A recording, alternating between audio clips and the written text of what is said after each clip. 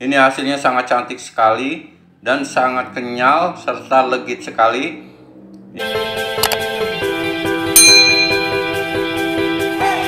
Pertama-tama kita siapkan labu kuningnya ya para bunda setelah kita cuci bersih seperti ini.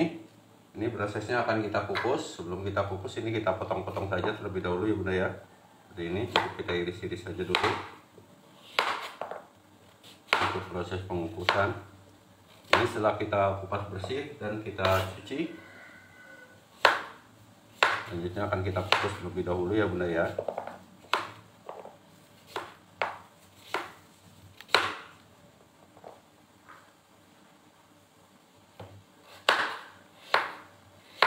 Di sini Kang Edi menggunakan yaitu kurang lebih 300 gram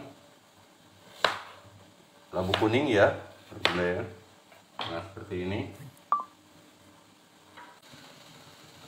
Nah, selanjutnya setelah panas kukusannya, ini kita masukkan tadi labu-labu yang sudah kita iris-iris. Ya. Kita kukus.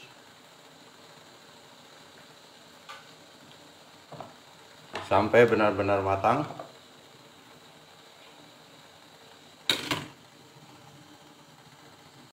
Nah setelah labu kuningnya ini masak, setelah kita kukus ya bunda, ini langsung kita masukkan ke alat blend dan kita haluskan ya. Langsung saja ini kita haluskan terlebih dahulu.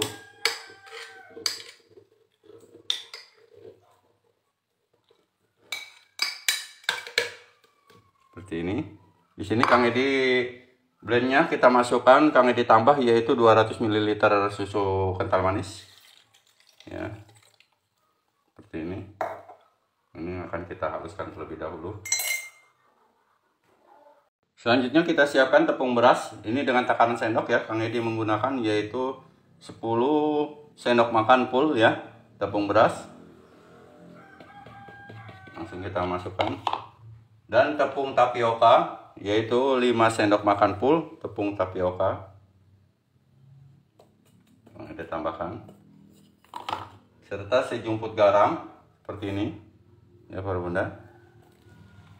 Dan kita kasih yaitu vanili bubuk. Setengah sendok teh saja.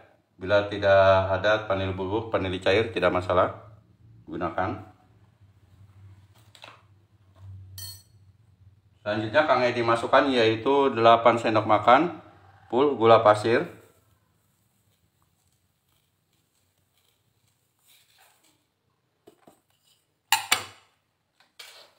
Ini kita aduk rata terlebih dahulu.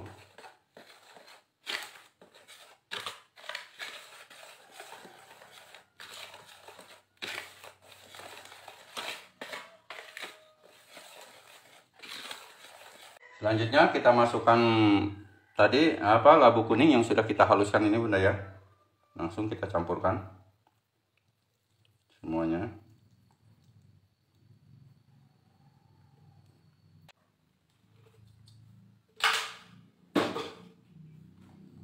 Ini kita aduk sampai merata, jangan ada yang menggerindil.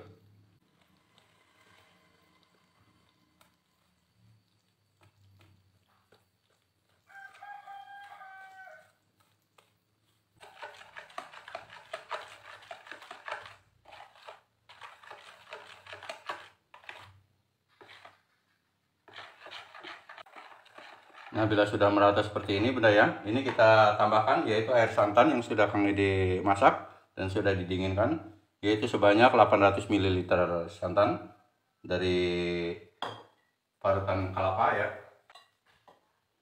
Ini kita saring santannya supaya tidak ada yang kotoran yang masuk.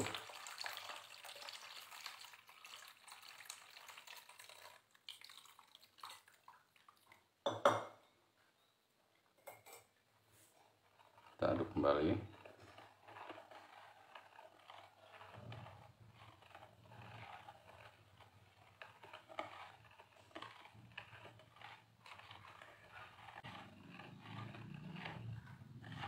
adonan ini kita bagi tiga ya menjadi tiga bagian.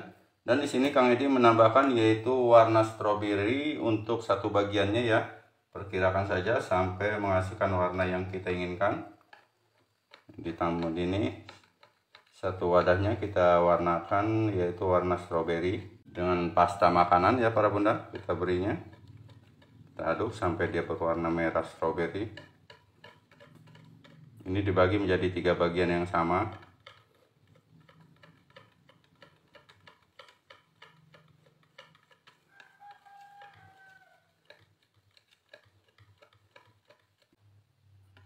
benda ya. Nah, selanjutnya kita siapkan loyang ini kita sisihkan terlebih dahulu.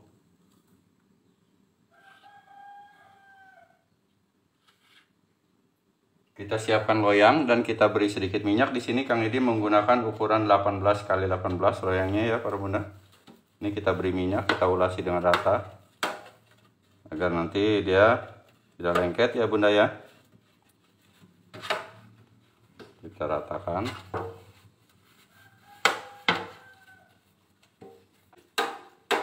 selanjutnya kita siapkan alat pengukusnya.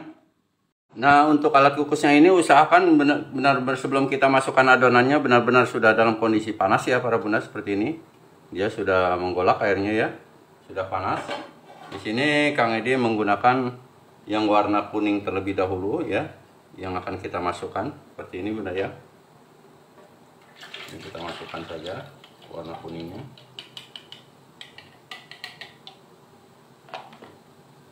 ini kita kukus selama kurang lebih yaitu 10 menit karena ini kita menggunakan lapisan yang agak lebih tebal. Beda dengan lapisan tipis cukup hanya 5 menit. Ini kita gunakan 8 sampai dengan 10 menit disesuaikan dengan alat kukus yang ada di tempatnya para bunda ya. Nah di sini Kang Edi membuka tutup alat pengukusnya agar uapnya ini tidak mengumpul di dalam dan tidak menetes pada adonan ya para bunda. Jadi tidak dibungkus dengan kain karena ini alat kukusnya cukup besar. Setelah 8 menit atau lebih ya ini kita buka ya para bunda. Nah, kita masukkan kembali yaitu yang warna merah strawberry ya. Hmm.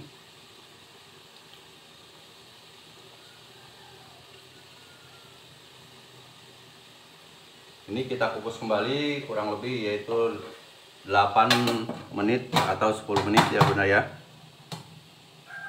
Nah setelah 8 menit lebih ya para bunda atau 10 menit ini kita angkat kembali buka. Dan kita masukkan yaitu adonan yang warna kuning terakhir ya para bunda ya. Ini kita masukkan. Ini. Langsung kita tutup kembali. Kita tunggu ini kita kukus selama kurang lebih yaitu 20 menit ya para bunda ya nah, para bunda sahabat kutista teman-teman di seluruh tanah air ini hasilnya kita membuat kue lapis labu kuning ya yang sangat legit dan kenyal serta lezat sekali ya para bunda. Ini sangat enak sekali ya hasilnya sangat cantik sekali warnanya sangat menarik ya. Ini sangat cocok sekali apabila kita sajikan pada acara-acara istimewa, hidangan-hidangan keluarga ataupun acara-acara ulang tahun ya para bunda. Dan bisa untuk ide jualan juga. Semoga para bunda dan sahabat putri serta teman-teman di seluruh tanah air yang mengikuti awal hingga akhir video ini semuanya senantiasa dalam keadaan sehat walafiat. Jangan lupa bantu channelnya Kang Edi Putra Banten dengan cara menekan tombol subscribe-nya terlebih dahulu di like serta di share sebanyak-banyaknya dan jangan lupa untuk tulis komentarnya di kolom komentar channelnya Kang Edi Putra Banten. Sekali lagi Kang itu ucapkan banyak terima kasih. Semoga Tuhan membalas segala kebaikannya dengan berlipat ganda. Akhirul kalam. Wassalamualaikum warahmatullahi taala wabarakatuh. Terima kasih.